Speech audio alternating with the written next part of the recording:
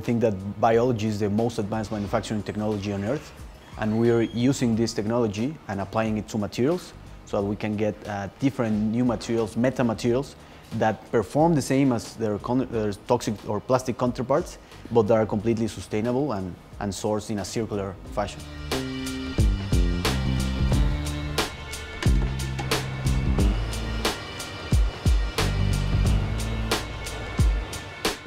We take uh, fruit scrap from the, the food industry, uh, which is very big here in local, locally, and we brew these, the, these, uh, these scraps into leather, into bio leather, using bacteria that eat the scraps and assemble a, a matrix, which is really similar to, to leather in terms of the performance, the look, the feel, and even the smell.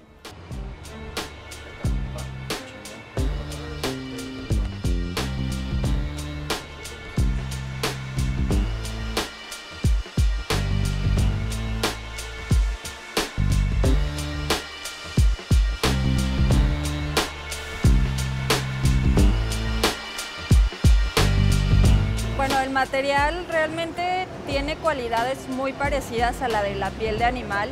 De hecho, si lo comparas con el material sintético, que es plástico, tiene mejores eh, bondades Celium.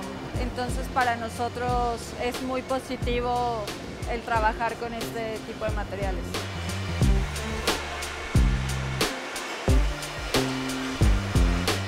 Pero sí hay mucho mercado, sobre todo en la parte europea, que ya se preocupan desde hace muchos años por el cuidado ambiental.